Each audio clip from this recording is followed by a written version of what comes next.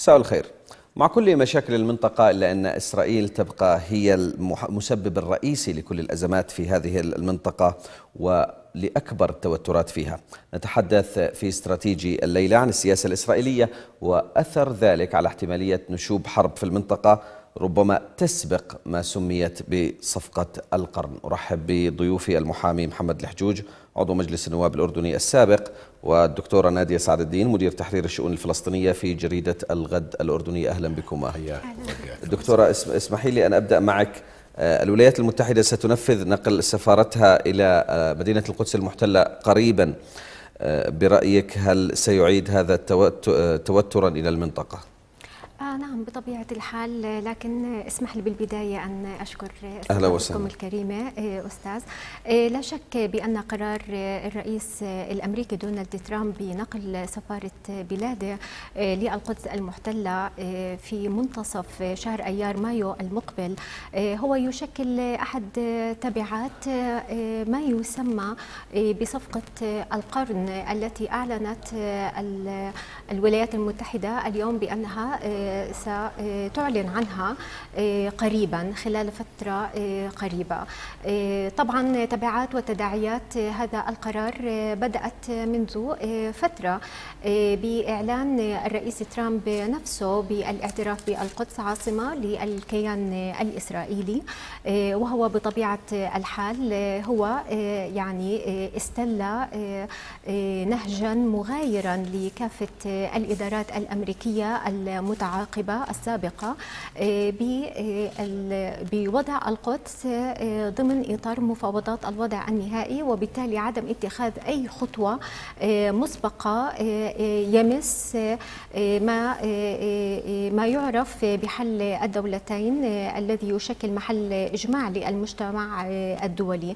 أنا بعتقد بأن خطوة مثل تلك لن تمر هكذا وإنما ستنعكس أثارها وتداعياتها كما شاهدنا خلال الفترة السابقة بحالة انتفاضة الفلسطينيين ضد القرار الأمريكي واندلاع المواجهات العنيفة والمتواصلة في مختلف أنحاء وعموم فلسطين المحتلة هذا على المستوى الميداني والذي أسفر بطبيعة الحال بفعل عدوان سلطات الاحتلال ضد الشعب الفلسطيني أسفر عن وقوع عدد من الشهداء.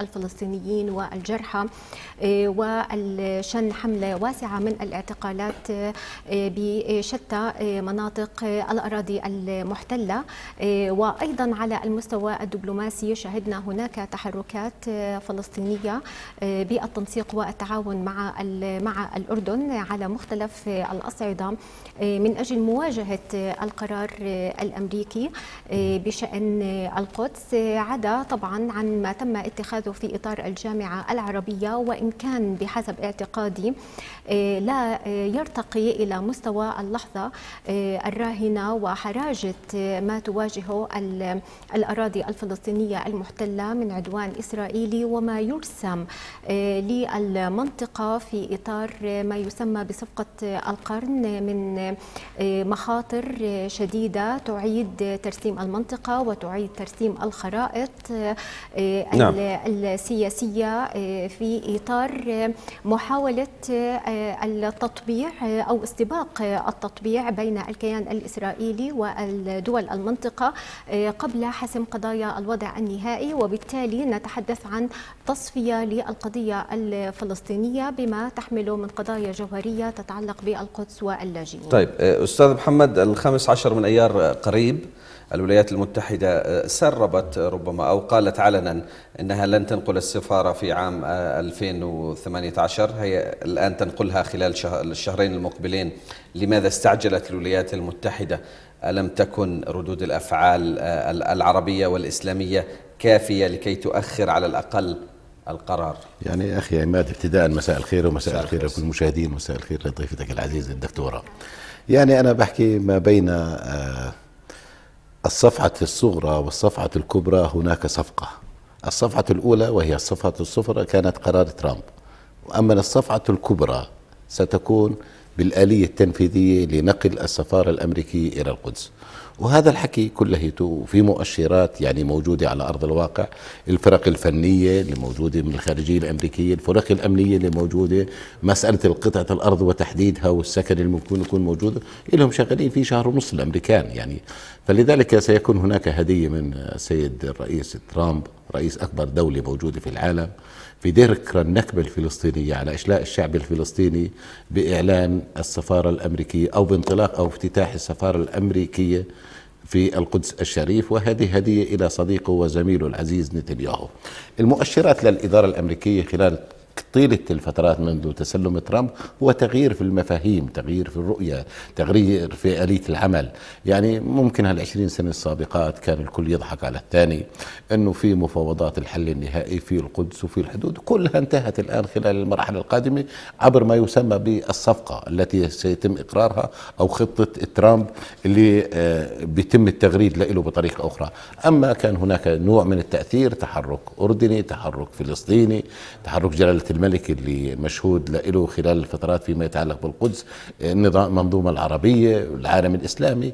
أنا بعتقد أنه آه، آه، جوانب التأثير كانت بسيطة جدا على القرار الأمريكي بل العكس حتى موقف القيادة الفلسطينية بتحركها سواء مع الأوروبي وغير الأوروبي. فقط الآن دور الأوروبي سيكون البسيط لوضع مكياج فقط طفيف جدا على ما سيتم طرحه وتنفيذه عبر إدارة ترامب لكن أنا بعتقد أنه آه، ترامب يعني آه، له المقولة الشهيرة يقول كلكم تقولون ما لا تفعلون وأنا أفعل ما أقول فلذلك ما يريد ترامب خلال المرحلة القادمة سينفذ على أرض الواقع فيما يتعلق بالقضية الفلسطينية. فقط الحالة الوحيدة اللي ممكن توقف هذه الهجمة مجموعة شباب موجودين داخل فلسطين. غير هيك طيب دكتورة نادية هل ما يقال هو فقط تسريبات أم, أم أن هناك فعلا آه، حديث عن تفاصيل هذه الصفقة؟ نعم آه، يعني ما يحدث مؤخرا آه، يعني بالإضافة إلى التسريبات آه، التي تصدر ما بين الفترة والأخرى يعني هناك عدد من المسؤولين الفلسطينيين وكنت قد تحدثت إليهم في فترة سابقة تحدثوا بالفعل بأنه خلال اللقاء مع عدد من مستشاري البيت الأبيض كانوا يحاولوا معرفة الموقف الموقف الفلسطيني آه، من الحل النهائي. آه، فيما لو اتخذ قرارات متعلقة بشأن القدس وطبعا استبعاد القدس واللاجئين من المفاوضات الوضع النهائي. آه، بطبيعة الحال أنا أعتقد بأنه الإدارة الأمريكية لا تمتلك استراتيجية ورؤية واضحة لحل الصراع العربي الإسرائيلي وإنما لإدارته فقط. إيه، والتشبث أين الصفقة إذا إذا إذا لم يكن هناك حل؟ آه، آه، هذه الصفقة هي ليست لا, لا تندرج في إطار الرؤية الاستراتيجية لحل الصراع. إيه، هذه خطة أمريكية إيه، إسرائيلية من أجل فرض التطبيع من أجل فرض الكيان الإسرائيلي على المنطقة ككل وتسوية القضية بأي شكل يكن. مضمون وملامح الحديث بما يسمى صفقة القرن هي تقوم على الأسس التالية. القدس عاصمة للكيان الإسرائيلي هذا قرار لا رجعة عنه. بالتالي إخراج القدس واللاجئين من المفاوضات الوضع النهائي كاملا. أيضا لتكن إحدى ضواحي القدس المحتلة عاصمة لدولة فلسطين المنشودة. لتكن أبو ديس أو أيا يكن يكن آه، يعني لا خلاف بالنسبة للإدارة الأمريكية. آه، نشر قوات الاحتلال على طول نهر الأردن آه، مع إبقاء السيطرة الأمريكية في منطقة الأغوار التي تتمسك بها سلطات الاحتلال وتعتبر منطقة استراتيجية في المنظور الإسرائيلي. أيضا ليكن هناك نوع من التكامل والتعاون الإقليمي بإدخال وزج الكيان الإسرائيلي في المنطقة آه، كنهاية لحل القضية الفلسطينية. آه، أيضا إبقاء المستوطنات آه، داخل الضفة الغربية دون تفكيك أو إزالة وإنما الحديث يدور عن إزالة بعض المستوطنات البعيدة أصلا والمنعزلة والتي تضم أعداد قليلة جدا من المستوطنين. فلا ضير لدى الاحتلال بإزالة هذه المستوطنات وتفكيكها ولكنها على المستوى الاستراتيجي لن تحدث فرق على أرض الأرض الواقع. وبالتالي نحن نتحدث عن رؤية إسرائيلية لا تخرج بالنسبة للكيان الفلسطيني المنشود عن حكم ذاتي محدود معني بالشؤون الحياتية للسكان باستثناء السيادة والأمن الموكولتين للاحتلال. هناك أسس جوهرية تقوم عليها التيارات الإسرائيلية الأساسية في الكيان الإسرائيلي بمختلف توجهاتها اليمينية والدينية واليسارية بعدم الانسحاب إلى حدود الرابع من حزيران يونيو عام 67 قد يكون هناك تبادل للأراضي بما يضمن بقاء المستوطنات وعدم إزالتها. تبادل الأراضي أين؟ في هناك حديث عن بعض المناطق نعم. في داخل 48 نعم تم الحديث في وقت سابق عن تبادل للأراضي ولكن لم يحسم مسألة النسبة. وأيضا سلطات الاحتلال تريد تبادل الأراضي مع السكان وبالتالي إبقاء المستوطنين حيث هم وهذا الأمر مرفوض من قبل طيب. الجانب الفلسطيني. أيضا يعني تقوم الرؤية الإسرائيلية بعدم تقسيم القدس وبإسقاط حق العودة هذه الأسس الأساسية التي تقوم عليها الرؤية الإسرائيلية للحل الذي يمكن أن يتم التوصل إليه أستاذ محمد يعني لا دولة لا حدود لا قدس لا لا حل لمشاكل اللاجئين. هذه ليست خطة أمريكية هذه خطة لنتنياهو ربما. خطة نتنياهو. يعني بلكن شوية أنا بدي أعزز موقف الدكتورة يعني فيما طرحت أنه الخطة المطروحة وما تم تسريبه هناك يعني تسريبات كان سقفها عالي كثير. يعني مسألة مصر والتبادلية وما تبادلية هذا الحكي كله ما فيش منه. بما يخص غزة. أنا بسميها مثل الحمل الكاذب. يعني صارت القصة غزة لا يوجد هناك تعديل عليها. غزة ستكون غزة كما هي. إذا أين غزة ما طرح ما طرح غزة في في فيما يتعلق بالوضع الاقتصادي غزة مطروحة ضمن خطة ترامب. أما فيما يتعلق بتبادلية بدنا نأخذ شوي من مصر ومصر بدهم يعطوهم شوية هذا الحكي مش موجود. غزة لا يوجد هناك تغيير على جغرافيتها ستكون طيب. غزة لمن لأبناء الشعب الفلسطيني الموجودين على أرض غزة. لكن ما يطرح الآن من ما يسمى بتسريبات فعلية وعملية بعتقد إنه كثير من القيادات الفلسطينية آه، لها المضمون لا لديها العلم الكامل بمضمون خطة ترامب. لكن بيقولوا إنه ما استلمناهاش بصورة خطية. والكثير من النظام الرسمي العربي بعتقد موجوده عنده التسريبات بطريقة أخرى بطريقة شفوية. ال ال ال الوضع المقصود فيه اولا وأخيرا الضفة الغربية مش مسألة غزة. الضفة الغربية لما ترامب بده يطرح وستكون أحادية الجانب للعلم مش شرط موافقة أبو مازن ومش شرط موافقة القيادة الفلسطينية على ما هو مطروح الآن. لكن أنا اللي بدي أطرح طيب ما هي البدائل من الطرف الآخر؟ وما, وما هي استعدادات الطرف الآخر؟ الآن حسب ما هو يعني آه، مسرب إنه سيكون هناك إعادة نشر أو انسحاب قوات أو الجيش الاحتلال الإسرائيلي من مناطق ألف ومن مناطق باء. بمعنى ستكون هناك سيطرة فعلية للسلطة الفلسطينية على 42% من مساحة الضفة الغربية. طب هل هذا مشروط في أوسلو أصلا. لا لا لا الآن موجود. أنا الآن الآن ترامب بده يطرح خطته مباشرة بده ينفذها نتنياهو حتى يحط أيضا السلطة في مازق آخر. هل السلطة الآن أو في هناك آليات عمل أن يكون هناك إحلال للقوات الفلسطينية محل القوات الإسرائيلية في مناطق أو السيطرة على 42% بالضفة الغربية؟ ما هو كمان إحنا بدناش نضلنا نسمع وبدناش نضلنا إحنا في حالة غيبية وفي حالة سكون لما يصير في شيء على أرض الواقع. يعني لما صار انسحاب قوات جيش الاحتلال الإسرائيلي من غزة كان على الأقل في نوع من البرمجة في إحلال مكان إحلال في مسألة المستوطنات لما تم إزالتها كان في هناك قوات أمن فلسطيني. الآن ستكون هناك جوانب المفاجأة أيضا على صعيد فلسطيني. يعني الآن في عندك 42% ستكون سيطرة أو السيطره الفلسطينية لأنه مناطق ألف وباء من مساحة الضفة الغربية. المستوطنات أمر واقع الآن. راح تكون جزء من دولة الكيان الصهيوني بطريقة أو أخرى حتى حتى حتى ما عدا تفكيك بعض البؤر اللي زي ما ذكرت الدكتورة هي محدودة. بالنسبة للقدس يعني هناك المشروع زي ما هو مطروح الآن هو انسحاب من بعض مناطق أو أحياء القدس ستكون من طرف الشرطة وقوات جيش الاحتلال. وتصبح المسؤولية السياسية والمدنية والقانونية مسؤولة السلطة الفلسطينية. فيما يتعلق بالقدس القديمة أو البلدة القديمة والحرم المقدسي والمقدسات الإسلامية. بعتقد ترامب سيطرح ضمن أفكاره أنه لا الجانب الفلسطيني يستلمها ولا الجانب الإسرائيلي يستلمها أنه جهات أخرى. هل سيتم تدويرها؟ هل ستكون هناك وصاية؟ الوصاية الأردنية ستبقى على هذه المقدسات خلال هذه أسئلة؟ يعني هل هي بحجر الحديث عن أن السيطرة على الحائط الغربي آه لإسرائيل والسيطرة على الحائط الشرقي آه تحت ليكون تحت الوصاية الهاشمية مطروح. والباقي؟ فيما يطرح هو المقصود فيها الضفة الغربية. أنا زي ما ذكرت ابتداء الوضع الأمني الشمولي على صعيد كل الضفة الغربية سيتكون بسيطرة الإسرائيليين سواء كان الغور الأردن أو السيطرة المطلقة. لكن الأمن الفلسطيني سيكون مسيطر فيما يتعلق بالقضايا الجنائية إذا لا دولة. شابه. فيش دولة روابط القرى أفضل منها أخي عماد اللي مطروح.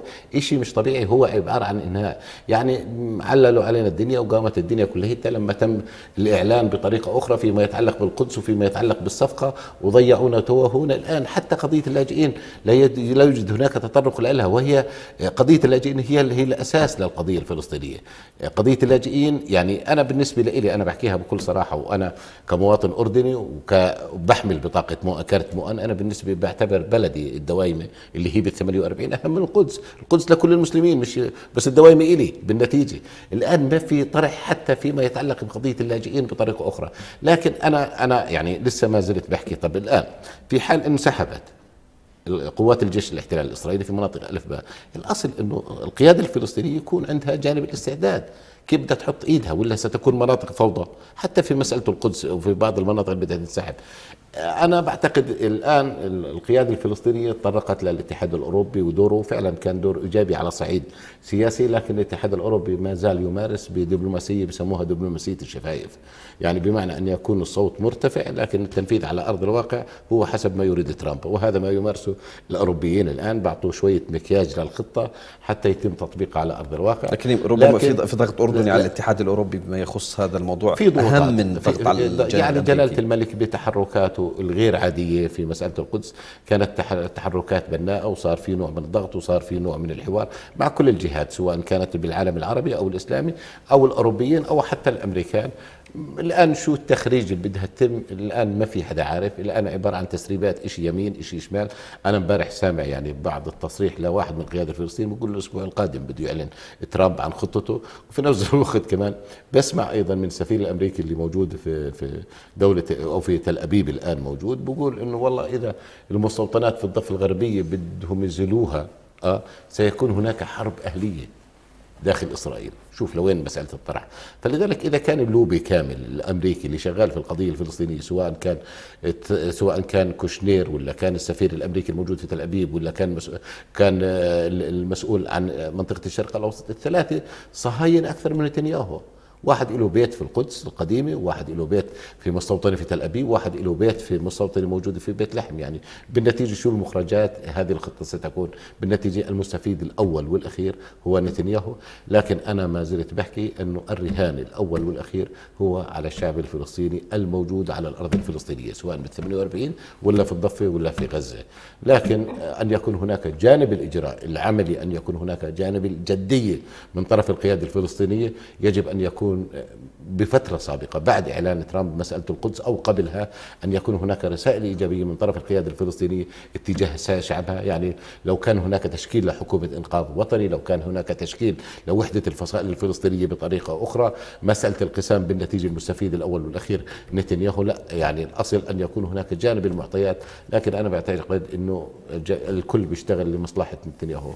طيب دكتورة نادية فعلا من هذا التساؤل اللي تحدث عنه الأستاذ محمد هل وجود هذه الخطة الصفقة سميها ما شئتي هل وجودها يعني حتمية تنفيذها؟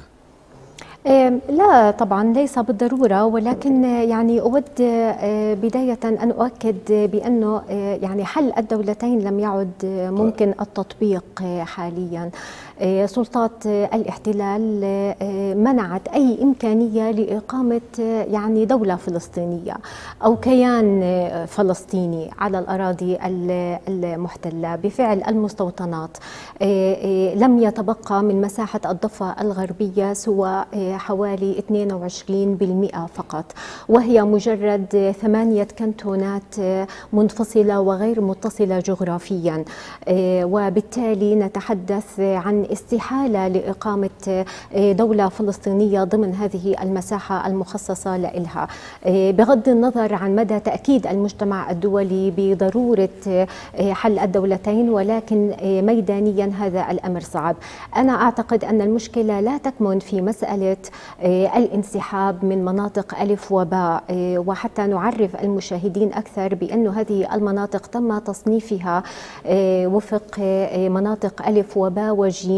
تتعلق بأراضي الضفة الغربية تم تصنيفها وفق اتفاق أوسلو الفلسطيني الإسرائيلي عام 93 تفاهمات أوسلو. نعم تفاهمات أوسلو.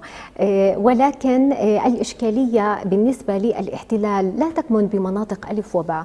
يعني لدى سلطات الاحتلال الاستعداد بالانسحاب الكامل ونشير بأنه مناطق ألف هي خاضعة أيضا للسلطة الفلسطينية. الإشكالية تكمن في منطقة جيم وهي تشغل حوالي 62% من مساحة الضفة الغربية. هذه المنطقة هي الأغنى من أراضي الضفة الغربية الأغنى اقتصاديا وبثرواتها الاقتصادية والطبيعية والسياحية. يشكل 90% منها منطقة الأغوار التي تدخل ضمن استراتيجية المنظور الإسرائيلي.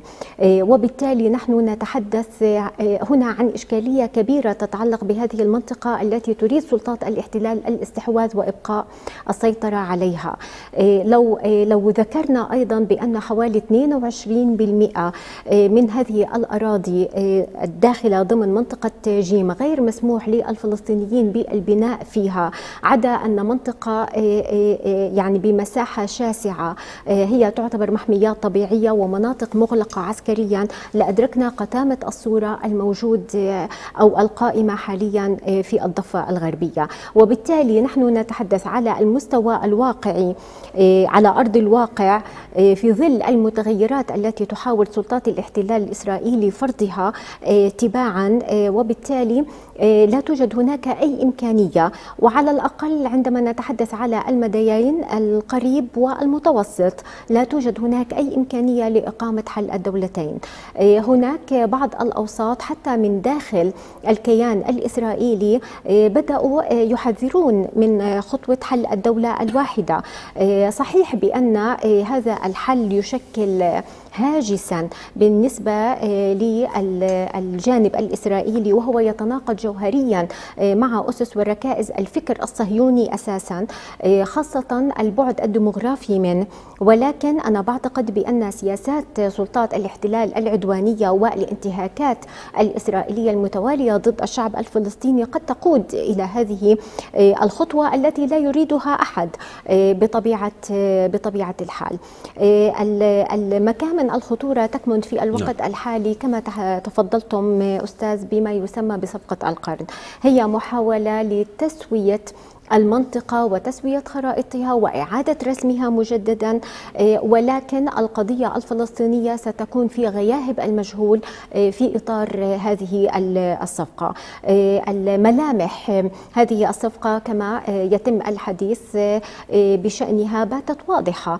وأنا أعتقد بأنه قرارات ترامب الأخيرة بشأن القدس وأيضا بشأن تخفيض المساعدات الأمريكية المقدمة لوكالة وكالة الأنروا وتقديم حوالي 60 مليون فقط من أصل أكثر من 370 مليون دولار سنويا. هذا أيضا يشكل خطوة في هذا في هذا الاتجاه.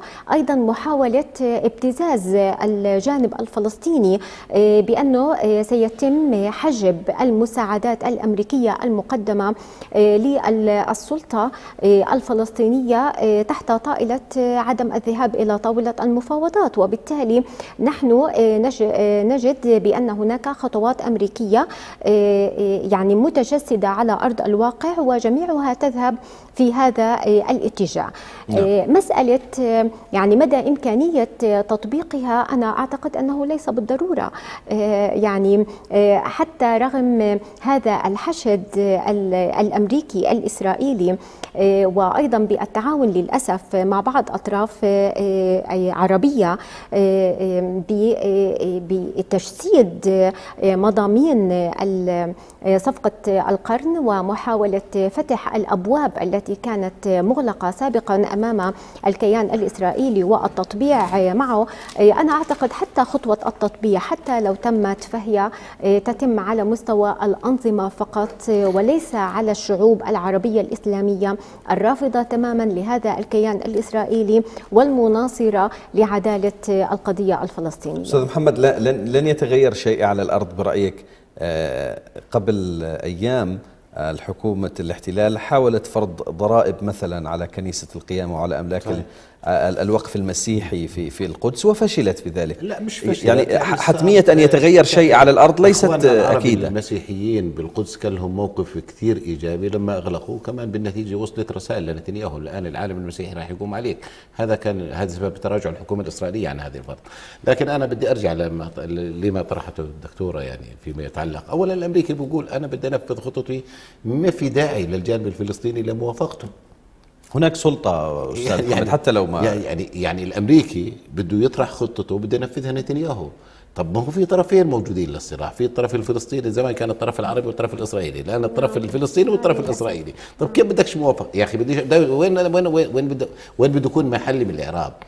والدليل على ذلك إنه حتى الرئيس الفلسطيني محمود عباس في المؤتمر أو الاجتماع. لا لا لا. قبل يومين ثلاثة كان في اجتماعات للمجلس الثوري. يقال بأنه كان يتحدث كلام المتأثر وكان يتحدث بأنه هذا اللقاء الأخير اللي ممكن يكون بينه وبينكم آه وأنا بالنسبة لي لن أنهي حياتي كخائن. يعني هذا كان مطروح. بالاجتماعات وأنا أحزن على معظم القيادة الفلسطينية لأنه يجب أن يكون هناك يعني آه، الشيء اللي ممكن يقدمه أبو مازن على صعيد القضية الفلسطينية ضمن الجو السياسي وهو لا يؤمن قطعيا بأي عمل عسكري من تاريخه يعني مش من اليوم ومش من حد ما استلم آه بالنتيجة آه الإسرائيليين مش رايحين يلاقوا أفضل منه.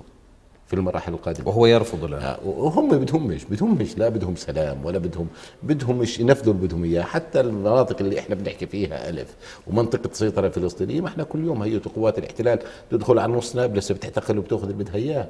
أنا بعتقد الأمور خلال المرحله القادمه عصيبة آه، في جانب التأثير والتأثر فيما يتعلق بالقيادة الفلسطينية في من حالة التغيير. حتى الرئيس الفلسطيني يعني تحدث وقال إنه هي خليفتي محمود العلول على صعيد فتح. يعني هذا قبل يومين هذه الاجتماعات. فلذلك كأنه يعني الامريكان ما يعتقد إنه الأمريكان ماخذين في قرار خلال المراحل القادمة. هسه هو موافق مش موافق ما في حدا بيعرف. لكن لسه ما زال الموقف الفلسطيني صلب يعني فيما يتعلق بمسألة التنسيق الأمريكي. لكن أنا اللي اللي, اللي بحلله يعني خلال هالمراحل هذه على صعيد فلسطيني إنه هناك اختلاف في الرؤية اختلاف في العقيدة حتى في مؤسسات العسكرية والأمنية الفلسطينية ما بين مرحلتين مرحلة أبو مازن ومرحله آه، شهيد البطل ياسر عرفات. أنا اللي بتمنى أن تكون المؤسسات الأمنية والمؤسسات العسكرية حاملة للشعب الفلسطيني وألا تكون جيش لحد خلال المراحل القادمة تجاه شعبها.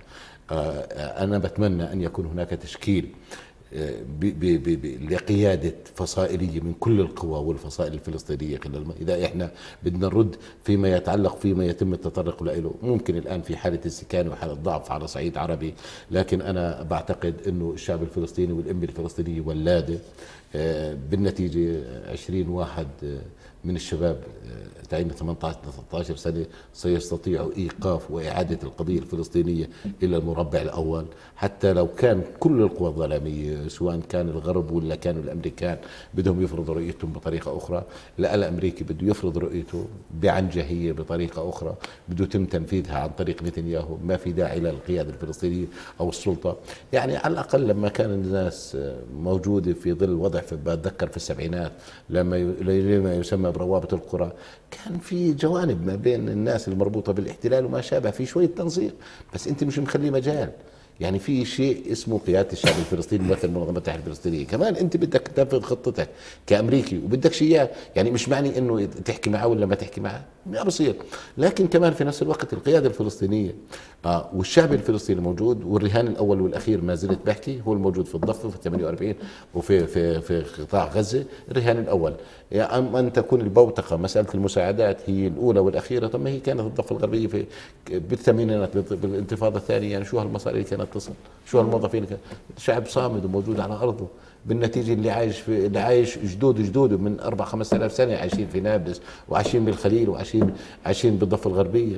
مين بده يمنعه؟ لكن أنا بعتقد يجب على القيادة الفلسطينية أن تقوم بحالة تغيير كاملة فيما يتعلق بعلاقاتها وبمواقفها وأن تعمل مع شعبها وأن تكون هذه المؤسسات للسلطة الفلسطينية حامله الشعب الفلسطيني. لكن ما يحدث الآن في ظل أجواء مقيتة وسوداوية يعني يعني أنا مش متفائل طيب. آه، آه، دكتورة نادية الحروب آه، دائما يكون لها أهداف سياسية قد تمهد لها. هل ستلجأ إسرائيل لاشتعال حرب أو في في المنطقة لكي تمهد لهذا الحل الذي لن يقبله أحد في هذا الوضع الراهن؟ نعم. آه، يعني أنا بعتقد بأنه آه، قد تكون هناك آه، مواجهة عسكرية قادمة ولكن في ظل التوترات الأخيرة التي شهدتها المنطقة بين الجانبين الإسرائيلي واللبناني. أنا أعتقد أن ساحة المواجهة بالمدى المنظور على الأقل لن تكون لبنان. وإنما هذا التوتر الذي تم افتعاله من قبل سلطات الاحتلال تجاه لبنان إنما عين الاحتلال على سوريا تحديدا وبالمواجهة ضد إيران بشكل محدد أكبر. سلطات الاحتلال افتعلت توترا في الفترة الأخيرة مع الجانب اللبناني عند إثارة أو فتح ثلاثة ملفات بالتحديد. بناء جدار حدودي إسمنتي على طول الحدود اللبنانية مع فلسطين المحتلة. أيضا الادعاء والزعم بوجود منصات أو بوجود مصانع صواريخ إيرانية داخل لبنان.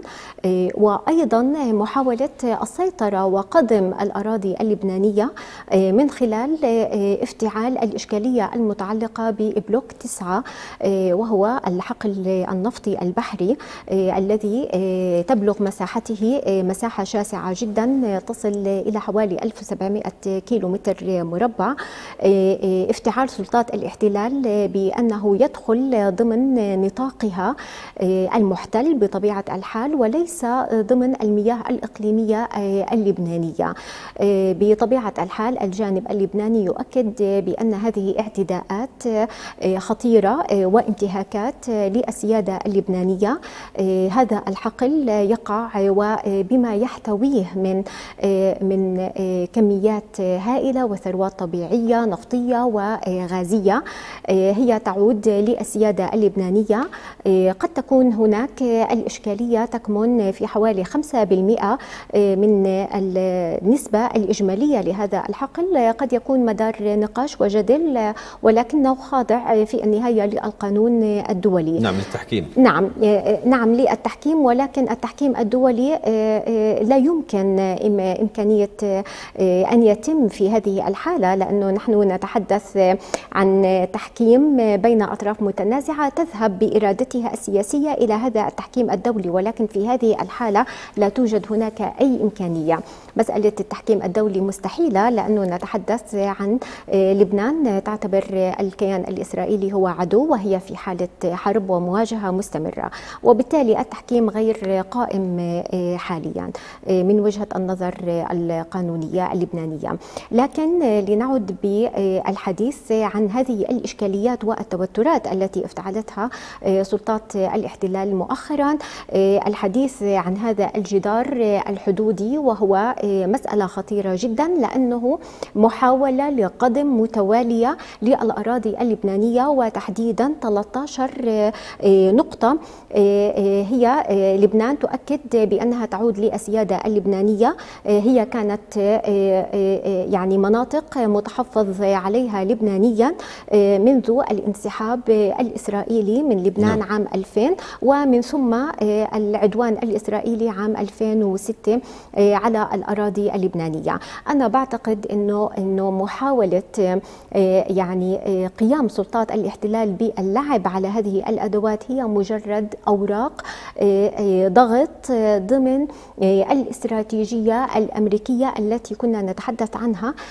آنفا وهي خطة ما يسمى صفقة القرن. هذه هذه التوترات المفتعلة إسرائيليا هي محاولة للضغط على لبنان من جره إلى المفاوضات في إطار ما يسمى صفقة القرن هو جزء من التسوية بطبيعة الحال بطبيعة فيما يخص اللاجئين. يعني عند عند هذه النقطة التي ذكرتها الدكتورة نادية يعني إسرائيل تضغط لا تريد حرب مع حزب الله أو مع سوريا. بالتأكيد يعني أنا بلكن بقر الدكتورة فيما تطرق أنه هناك فقط خلق جوانب توتر. يعني مثلا سوريا قبل شهرين كانت هادية. طب شو اللي جاية من الدين في مالطا؟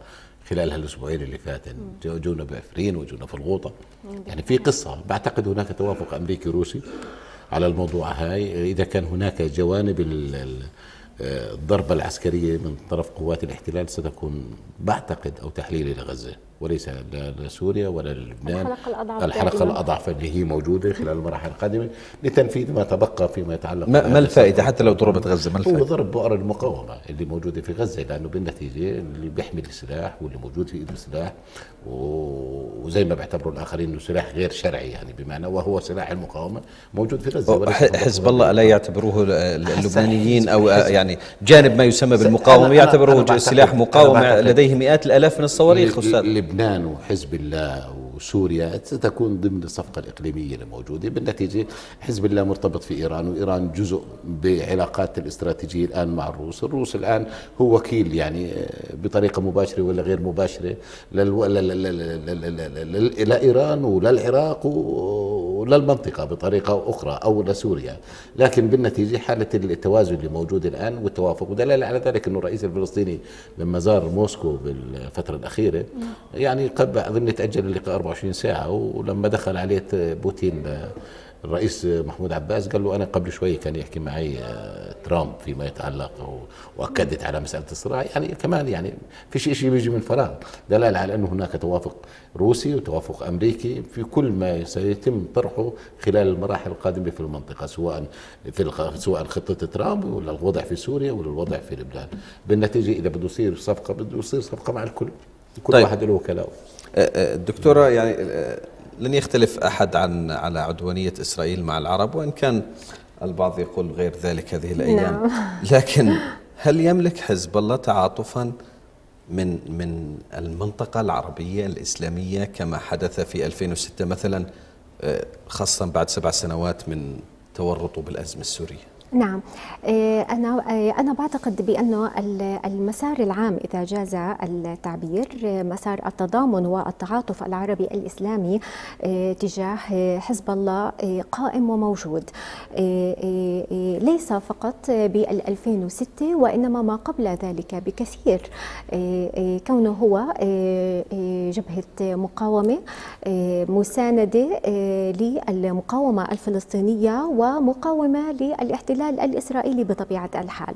لا شك بأن هذا المسار قد تذبذب نوعا ما آه، بفعل ببداية الأزمة السورية في عام 2011 آه، وبسبب تدخل حزب الله في الساحة السورية آه، نتيجة يعني كما أعتقد بأنه قد يكون هناك نوع من عدم الإدراك في بداية الأمر لمغزى وأهداف هذا التدخل. ولكن بعد حين تغيرت هذه هذه الأجواء عند إدراك بالفعل حقيقة ما يجري في الساحة السورية وليس كما تم تصويرها في بداية هذه هذه الأزمة. أنا أعتقد بأنه ليس فقط الذي تغير هو موجة هذا التعاطف والتضامن مع مع كل مقاوم ضد الاحتلال. وإنما أيضا هناك كثير من المتغيرات التي حدثت على مستوى المنطقة تجاه الأزمة السورية ونحن هنا نتحدث على مستوى دول إقليم. أنا أريد فقط التأكيد هنا بأن يعني كما أعتقد بانه سنشهد في المرحلة المقبلة مواجهة من نوع جديد. بناء على المعادلة الأمريكية الجديدة التي تحدثت بها في شهر كانون الثاني يناير الماضي وهي الخطة الأمريكية الجديدة في المنطقة. تحدثت عن أربع قواعد أساسية من شأنها أن تغير قواعد اللعبة حول الثقل الأمريكي بإنشاء قوة عسكرية في الشمال السوري. حول دعم القوات الكردية حول الجزم ببقاء الولايات المتحدة في سوريا وأيضا الموقف المعادي للرئيس السوري بشار الأسد وأيضا مواجهة النفوذ الإيراني. هنا بطبيعة الحال سنشهد مواجهة وإن لم تكن معلنة مواجهة أمريكية روسية. يعني أنا بعتقد بأنه مواجهة عسكرية تقصدين أم حرب باردة؟ يعني هي حرب باردة موجودة يعني المواجهة العسكرية قائمة في سوريا. بالوكالة حاليا بالوكالة, بالوكالة. نعم. ولكن كيف نتحدث بالوكالة؟ عند الإشارة إلى الطائرة الإسرائيلية على سبيل المثال التي تم إسقاطها مؤخرا.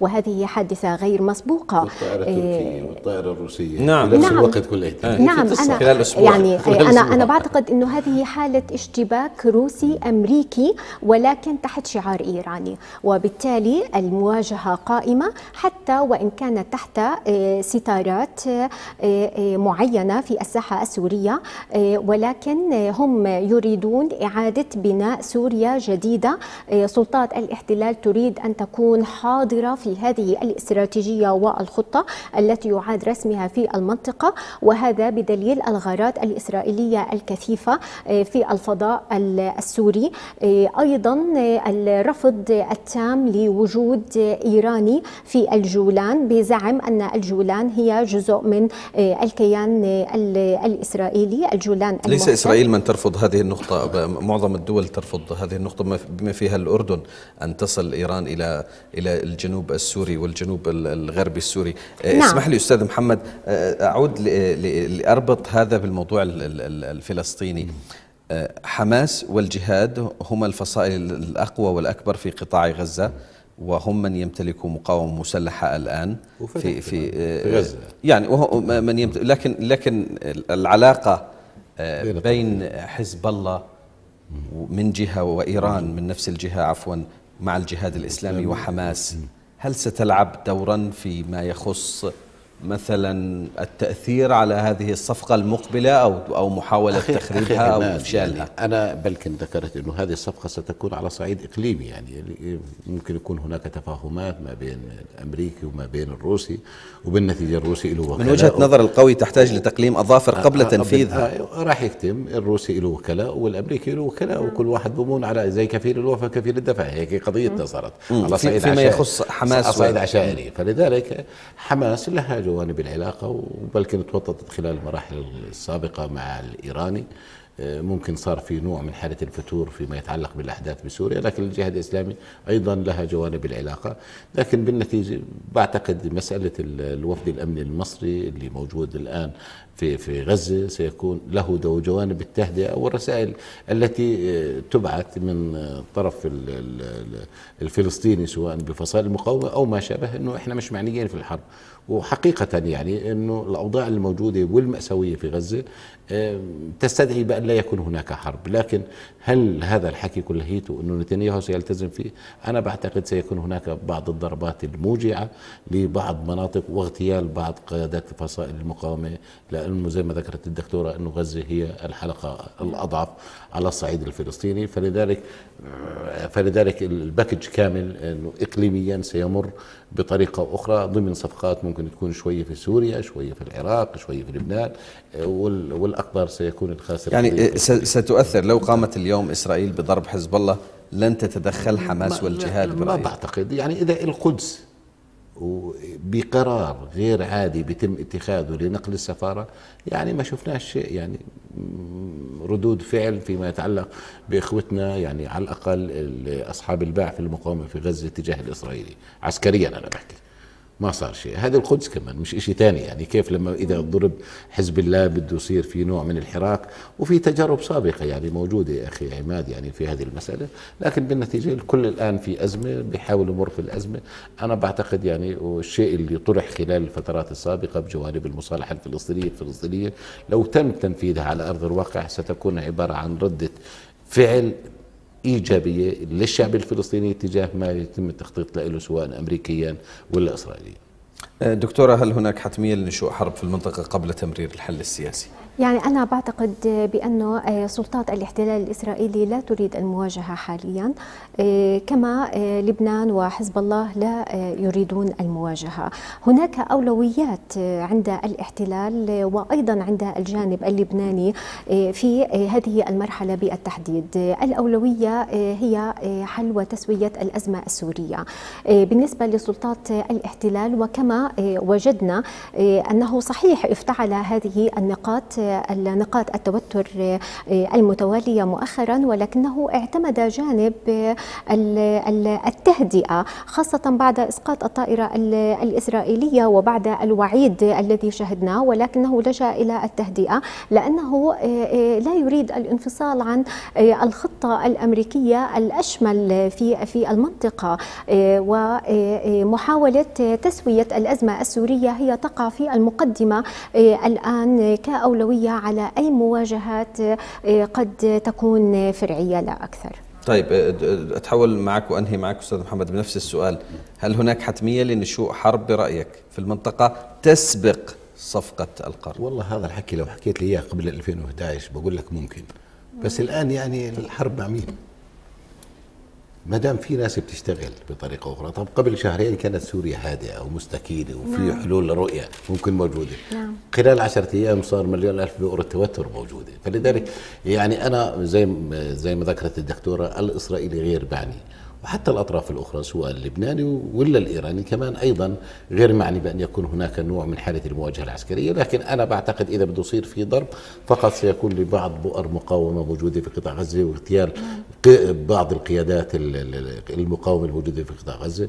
بالنتيجة يعني أخي عماد أنا بحكي وما زلت بتحدث أن الرهان على الشعب الفلسطيني الرهان على كل من هو مقيم على أرض فلسطين سواء في غزة ولا في الضفة ولا بال 48 ولا إخوتنا المقادسة وإحنا الآن يعني في ظل هذا الخضم قضية اللاجئين أصبحت غير موجودة حتى على الطاولة لكن هناك رهان ورهان دبلوماسي وسياسي رهان على الدولة الأردنية ممثلة بجلالة الملك لأنه هذه ورقة قوية في إيد الدولة الأردنية قضية اللاجئين ومسألة القدس كمان ومسألة الحدود وهذه فلذلك الوضع الفلسطيني على صعيد القيادة الفلسطينية الله يكون بعونه خلال المراحل القادمة لأنه هو الآن في وضع يحسد عليه. شكرا جزيلا لك المحامي محمد الحجوج عضو مجلس النواب الأردني السابق والدكتورة نادية سعد الدين مدير تحرير الشؤون الفلسطينية في صحيفة الغد الأردنية. أعزائي المشاهدين دمتم في رعاية الله وإلى اللقاء.